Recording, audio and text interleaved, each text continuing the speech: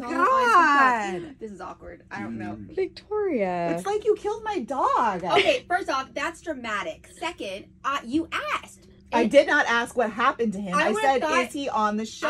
I thought you would have seen it on TikTok. like no. I have seen it on TikTok. I avoid those things. I avoid spoilers. It's not in my. You can't. Thing.